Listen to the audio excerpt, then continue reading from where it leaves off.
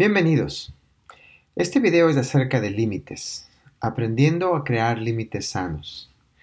Obviamente, cuando hablamos de límites en este contexto, de faith walking, no nos referimos a, límites de propiedad o, de terrenos, eh, sino más bien a límites eh, de responsabilidad emocional.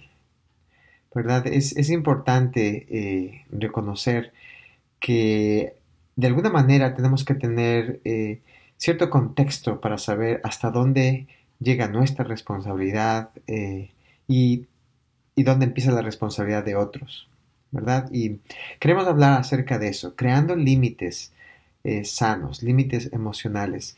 Dos cosas que es tal vez importante recordar antes de hablar de los límites. La primera es que no estamos hablando buscando diferenciarnos o aprender acerca de límites eh, simplemente porque este es un concepto psicológico interesante, eh, sino realmente lo que estamos haciendo es tratando de aprender a amar mejor, tratando de aprender a dejar que el amor de Dios de nosotros fluya y fluya no solamente en nosotros, para nosotros, en lo que se refiere a recibir, sino que también fluya desde nosotros, eh, de Dios a través de nosotros para los demás. El libro de la primera carta de Timoteo dice que el propósito de esta instrucción es el amor, es el amor, el amor que, proviene de una fe sincera, de un corazón puro, de una conciencia limpia. Así que eso es lo que estamos buscando. Eh, creemos que el aprender a crear límites sanos en contexto emocional, en el contexto de diferenciación personal, nos ayuda a crecer en nuestra integridad y en nuestra madurez emocional. Y yo eh, pienso que cuando hablo de madurez emocional realmente estoy hablando de amor. Realmente me ayuda, tener límites sanos me ayuda a saber amar mejor, amar a Dios en Dios, amar a Dios en mí mismo y amar a Dios en los demás. Y por qué no, amar a Dios en el mundo, ¿verdad? Que Dios amó al mundo. Así que bueno, de eso se trata, ¿verdad? Lo primero eh, tal vez es, reconocer eso. Eh, y lo segundo, pues es, pensar que, que, estos límites son parte de nuestra de nuestro desarrollo emocional, de nuestra madurez. Eh, tenemos eh, ciertos límites eh, que es necesario reconocer en nosotros y en los demás. La mayor parte de nosotros em, no practicamos esto lo suficiente. La práctica de, crear límites sanos y mantener límites sanos no es una práctica que practiquemos con frecuencia. normalmente nos encontramos eh, sintiéndonos responsables de, cómo se sienten los demás, por ejemplo, ¿verdad? Tomando la responsabilidad emocional de los demás y pensando en que nosotros somos responsables por cómo ellos se sienten, o viceversa, ¿verdad? Estamos dejando a los demás, eh, si cabe, eh, invadir nuestros límites y haciendo a los demás responsables de cómo nos sentimos, ¿verdad? Y, pensando, pues, o dejando que los demás simplemente vengan y, alteren todos estos estas emociones y estas circunstancias que tenemos. Esto es difícil de, ver y de practicar. Todos tenemos una primera formación relacionada a los límites y hemos aprendido eh, a mantener límites o no mantener límites sanos en el contexto de nuestra primera formación, de nuestra familia. Me gusta mucho la, definición, eh, la doctora Brené Brown aquí en Houston determina eh, un concepto útil acerca de los límites y, simplemente dice que un límite es eh, simplemente determinar lo que está bien, lo que es aceptable y lo que no es aceptable conmigo, ¿verdad? Lo que, lo que voy a permitir y lo que no voy a, permitir. y, y, creo que es así, ¿verdad? Muchas veces yo permito cosas que no están bien conmigo. Permito que los demás hagan cosas, digan cosas, se involucren en cosas que realmente no están bien conmigo, preferirían las que, en las que no se involucren. Y por otro lado, viceversa, ¿verdad? Estoy metiéndome yo en los lugares, en los, en los asuntos de otras personas, tomando sus emociones, su eh, sintiéndome responsable de, de, cómo se sienten, de cómo piensan. Así que esto no es necesariamente eh, útil, ¿verdad? Esto no refleja amor y madurez. Ah, muchas veces estoy yo asumiendo ¿verdad? Que, las demás personas eh, están de una manera eh, eh, tratando de invadir mis límites, ¿verdad? A veces creo esa historia o genero ese significado. ¿Cómo es posible que los demás siempre escojan hacer esto? ¿Cómo es posible que esta persona, este familiar, este amigo, mi jefe, mi amigo, o, quien sea siempre quiera hacer esto conmigo. Es decir, tengo, asumo eh, el, hecho, creo la historia de que esa persona está contra mí y de que lo que quiere hacer es algo que, quiere hacer, ¿verdad? Se levanta todas las mañanas pensando en cómo molestarme. Y la verdad es que esa es una historia. Eh, no sé en qué casos eso puede ser verdad y tal vez existen casos en los que pueda ser verdad, pero en mi experiencia, en mis relaciones, eso es más la historia que yo he creado que realmente lo que está sucediendo. Eh, para, entonces yo, tengo que aprender a quitarme ese significado, tengo que aprender a, trabajar, a enfrentar ese significado para poder eh, reemplazarlo con la verdad. Pero no puedo hacerlo si no logro definirme, si no logro establecer cuáles son los límites, cuáles son las cosas que están bien conmigo y cuáles son las cosas que no están bien conmigo, ¿verdad? Eh, lo, a decir de otra manera. Mi capacidad de poder tomar una actitud eh, de generosidad, y esto también viene de, la doctora René Brown, de generosidad que me permita a mí asumir lo mejor de las demás personas, mi capacidad de, tener de hacer eso depende de la claridad y de la eh, capacidad que tenga de tener límites sanos, de establecer lo que está bien y lo que no está bien, lo que permito que suceda y lo que no permito, lo que es mi responsabilidad emocional y lo que no es mi responsabilidad emocional. Em, ¿Qué tal si la mayor parte de personas, la, mayoría de nosotros, estamos tratando de hacer lo que mejor podemos, ¿verdad? ¿Qué tal si realmente lo que pasa es que no sabemos bien cómo manejarnos y establecer, crear y, mantener límites sanos. Así que de eso se trata eh, eh, esta clase. Hay un contenido eh, bastante útil en la lectura de esta sesión. ¿Verdad? Yo simplemente quiero dejar esa idea y contar una historia. y la idea es esa. ¿Qué límites tengo que tener?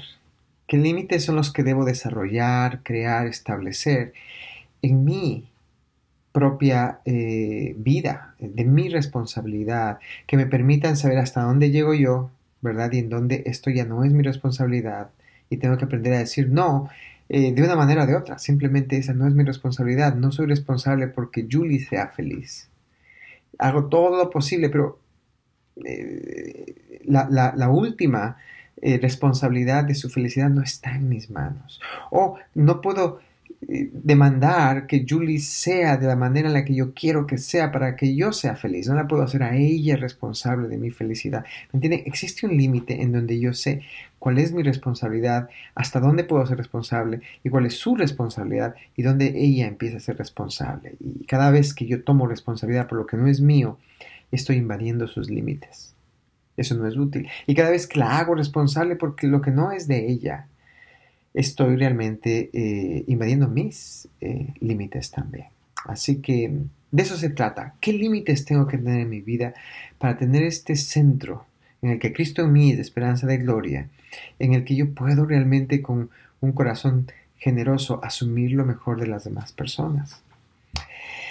Y los límites son complicados. Eh, existe material, tienen tarea, que, es útil. Yo quiero simplemente contar una historia que puede ser útil eh, en este proceso de, entender los límites. Eh, yo me defino a mí mismo como un introvertido, ¿verdad? Eh, necesito mi espacio, necesito mi espacio a solas. y me encanta el trabajo que hago, porque es un trabajo con gente, es un trabajo profundo, pero hay un momento en el que yo necesito separarme necesito mi espacio, necesito estar solo, necesito desconectarme, no hablar con nadie. Y las personas que me conocen de cerca al menos lo saben y, en su amor pues han aprendido a darme ese espacio. Así que uno de los retos que suelo tener a veces cuando viajo es eh, que voy a un lugar en el que pues eh, no es mi lugar habitual, ¿verdad? Voy, viajo a algún lugar a, facilitar un retiro y tengo que enfrentar dónde estar, dónde voy a llegar y he tenido muchas experiencias, la mayor parte de experiencias han sido buenas, pero una de las preguntas que tengo cuando viajo es, ah, voy a tener mi espacio, voy a tener, especialmente en el contexto de un retiro, voy a tener espacio para irme y, estar solo y, simplemente descansar, recargarme en, esta introversión, que es parte un poco de, de quién soy, ¿verdad? Para tener la fuerza de poder conectarme con los demás. Eso es difícil hacerlo cuando uno no sabe dónde va a llegar, ¿verdad? Dónde va a pasar la noche exactamente. Así que eh, últimamente o hace poco en un viaje, pues yo quería establecer los límites, ¿verdad? El límite de decir, bueno, necesito este espacio, esto es lo que yo necesito y, todo eso está muy bien. Incluso me atrevo a decir que el decir eso, eh, de alguna manera, eh, me ayuda mucho porque eh, me ayuda a enfrentar mi deseo de complacer a los demás, ¿verdad? Creo que al final del día también soy un sobrefuncionador, ¿verdad?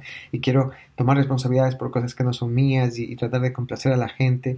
Así que el tener la conversación de decir, esto es lo que necesito, eh, fue útil para mí. Así que hablaba con la persona que estaba organizando este evento y pues empezaba a preguntar, ¿no? Eh, bueno, ¿cuál es el plan? Eh, ¿A, dónde, dónde, pensaban alojarme? Y lo que quería era simplemente decir, pues yo voy a pagar un hotel, ¿verdad? Prefiero pagar un hotel, prefiero pagarlo en mi bolsillo para poder asegurar ese espacio, porque ese es mi límite, eso es lo aceptable para mí buen trabajo estableciendo el límite, buen trabajo empezando a conversar y tener esa conversación con la persona. Ahora, esto es lo interesante, aquí viene la paradoja de los límites. Espero que, esta historia no confunda los límites, pero mientras hablaba con esta persona, algo en mí, ¿verdad? Eh, me hacía claramente sentir que lo que estaba haciendo es que estaba quitando algo importante del contexto de esa relación y el contexto del amor que yo quería fomentar en esa relación, simple y llanamente. Em, estaba consciente de que el, decir quiero ir a un hotel eh, estaba causando cierto dolor, ¿verdad? Lo, puedo definir de esa manera en la persona, ¿verdad? La persona eh, estaba, eh, me estaba invitando a, a estar en su casa, pues y a pesar de cualquier circunstancia, no, conocía su casa, pues no era el límite que yo había establecido, ¿verdad? Pero sabía y sentía dentro de mí que yo estaba quitando algo que era importante, ¿verdad? Y es en este momento en el que los límites se convierten en algo vivo y algo dinámico, ¿verdad? Sabía que eso que me estaba hablando no era el Marcos pequeño, ¿verdad? No era el Marcos egoísta, no era el Marcos que quería su simplemente su voluntad, sino que era, algo más. Me atrevo a decir que era el Marcos de Cristo, ¿verdad? Que estaba diciendo, Marcos, ten cuidado, eh, pon atención. Tal vez lo que estás haciendo aquí es, estás excediendo un poco eh, esta idea de los límites. Así que, bueno, decidí simplemente em, honrar eh, a Cristo en mí, honrar esa autoridad interna y, y decir, ok, eh, sí, vamos a dejar la idea del hotel aparte. Te agradezco por, recibirme y voy a ir para allá. Y bueno, pues lo hice un poco confiando, ¿verdad? En esa fe, siendo consciente de mi límite y siendo también consciente de la elección libre que hice en ese momento para no cumplir mi límite. Y la hice con la razón de, esta eh, intuición de que esto era importante. Eh, no puedo ah, tal vez expresar cuán importante fue para mí llegar y estar en la casa de esta persona. No fue importante solamente para esta persona, no, no se trata de eso. Creo que Dios habló a mi corazón de una manera muy, muy, muy especial en las diferentes circunstancias alrededor de mi estancia en esa casa. Dios me habló de muchas cosas. Dios me habló a través de la conversación con su familia, de la conversación con sus hijos, eh, con su esposa. Dios me habló muchísimo al sentarme en la mesa y, comer con ellos. Dios me habló de muchas cosas muy importantes que están aún, esto es fresco, siendo una realidad eh, en mi vida y me están llevando a la presencia de Dios a considerar eh, modelos mentales, a considerar mis propias posiciones en ciertas cosas. Y nada de esto hubiera sucedido Nada de esto hubiera sucedido si no hubiera tenido la capacidad de reconocer que eh, el contexto de amor requería que yo revisase la realidad de ese límite. Así que eh, esa es mi historia. Eh, los límites son importantes y tenemos que determinarlos.